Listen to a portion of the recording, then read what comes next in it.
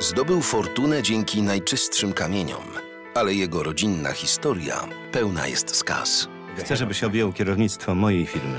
Gratuluję, tato. Przeszedłeś samego siebie. Saga Vanderbylów, właścicieli diamentowego imperium. Miłość i nienawiść, pieniądze i intrygi.